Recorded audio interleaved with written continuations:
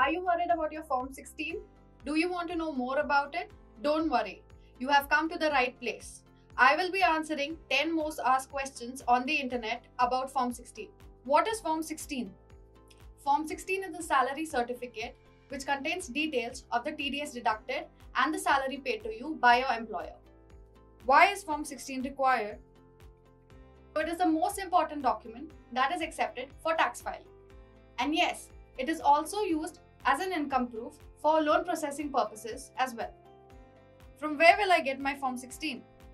Most people have the misconception that Form 16 can be downloaded from the Traces website. But the fact is, you can receive it only from your employer and nowhere else. What is Form 16 and Form 16A? Are these the same or different? No, they're totally different. Let's look at the two parts of Form 16. There's Form 16 Part A and Form 16 Part B. Part A includes TDS on salary by the employer, and Part B includes salary breakup, investment details, and the tax calculation on your salary. However, Form 16A includes income other than salary and the taxes deducted on them and is issued by the TDS deductor. How do I know whether I'm eligible to get Form 16?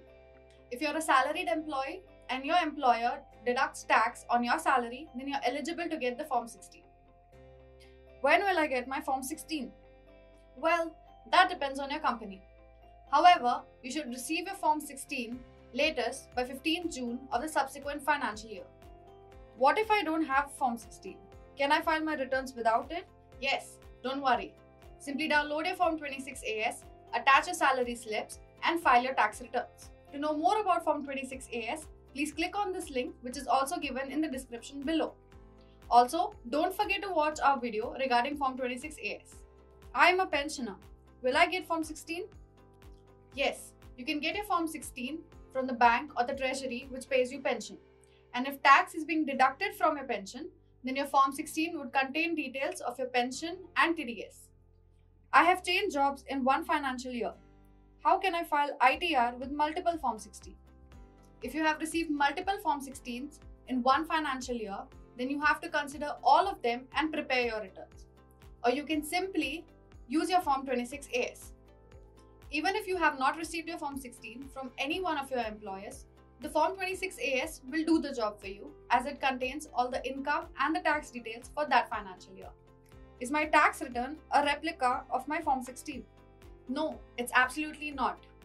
Form 16 is for your reference to know how much salary was paid by your employer, the investments declared, and the tax deducted on your salary.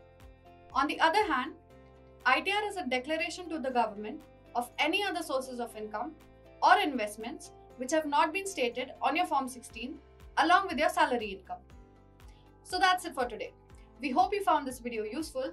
If you did, please like this video and drop us your comments below.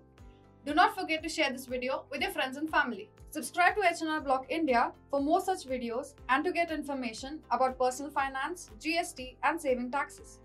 Check out these videos as well. And when and out always remember tax से मत डरो H N R block के साथ चलो।